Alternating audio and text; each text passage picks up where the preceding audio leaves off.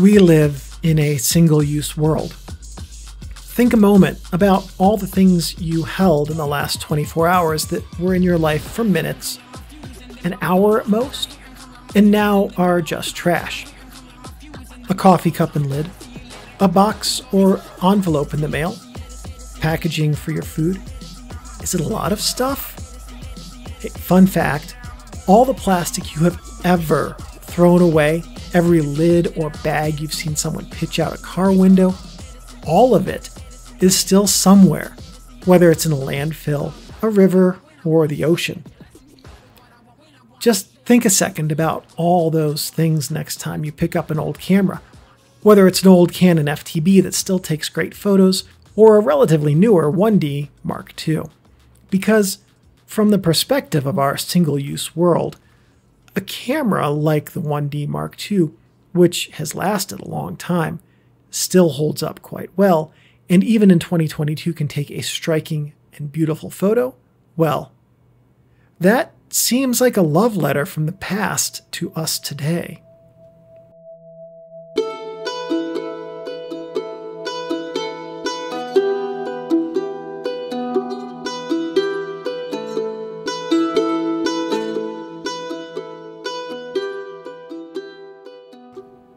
It's easy to think that things were made better in the past because the things we have from that time were, in fact, made better.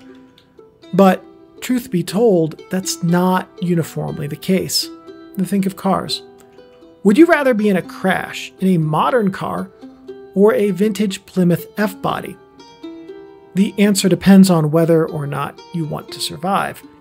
Think cameras, because there are so many great vintage cameras still around. But are they the exception?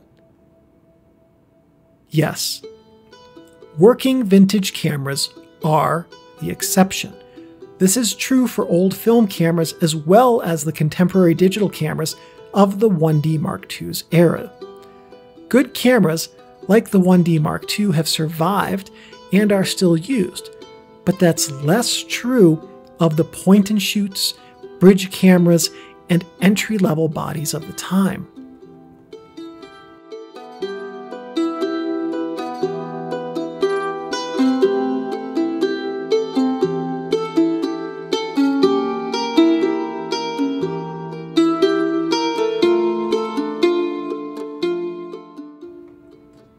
Quality is hard to engineer and produce, and it's costly that's the reason why we live in a single use society where so much has so little lasting value.